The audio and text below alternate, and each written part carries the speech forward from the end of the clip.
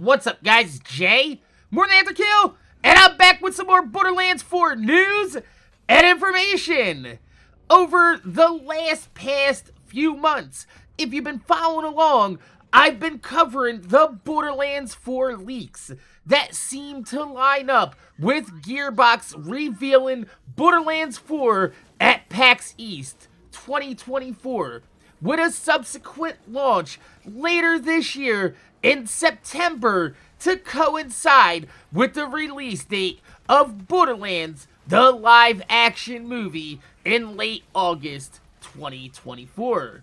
And now we have actual, factual proof that Gearbox is going to reveal Borderlands 4 at PAX East with the Borderlands Twitter social media account changing their background to an image that looks like the Vault symbol has been turned on its side, suspiciously looking like a 4 containing characters from every single numbered Borderlands game.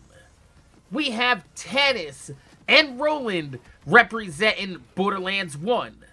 Axton and Maya representing Borderlands 2. Moze and Zane representing Borderlands 3.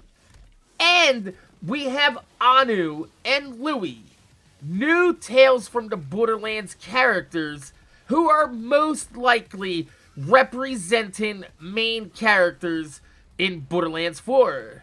Now, while we have no other information to go on other than this picture, if we look closer at the picture, each game is represented by at least one Vault Hunter and one female character in the series.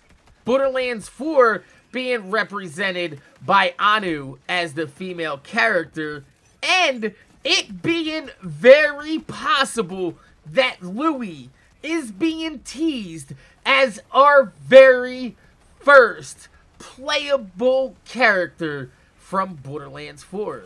So, my name is Jay, MorninAfterKill. I want to thank you guys for watching. Make sure you guys rate, comment, subscribe. If you leave thumbs up on a video, I'd highly appreciate it because it gives me motivation to make more videos for y'all motherfuckers that watch it. my motherfucking videos. Now, Louie being a playable Vault Hunter in Borderlands 4 is 100% pure speculation and conjecture based upon the evidence that we've been given so far.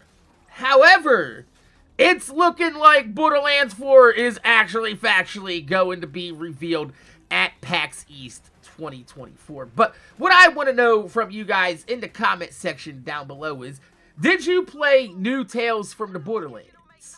If you have, what are your thoughts on the possibility of Louie being introduced into Borderlands 4 as a playable Vault Hunter?